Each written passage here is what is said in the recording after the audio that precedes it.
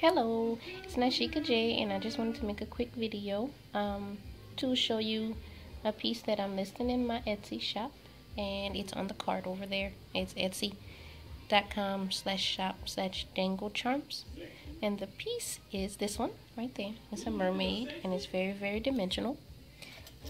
It is about five layers of resin maybe. Each one has something different going on and I'll walk you through them as well. I'll walk you through the relevant ones. There's on top, very, very top, there's a layer that looks like sea foam, and all of it is sitting on top of the actual piece. It's not embedded in there at all because I wanted to have some texture and some dimension to it. And then in there, uh, there are shells that go through like maybe two layers, two or three, um, and you can touch them they're on top. See how it still sticks out? So you can still feel them, but they're very, very secure.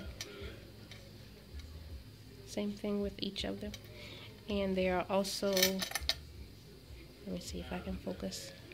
Okay, they are crystals. Here, here, over there, and I think there might be one more. Yes. Nope.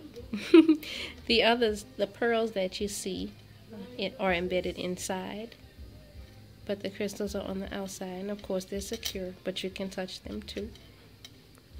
Mm. I just thought it was really really nice and it's on a beaded chain. I beaded it by hand of course with uh, glass beads instead of acrylics. It's 20 inches long and there's an extender just in case you need a little more length. Okay enjoy. I'm going to list it now and hopefully somebody will be the lucky buyer.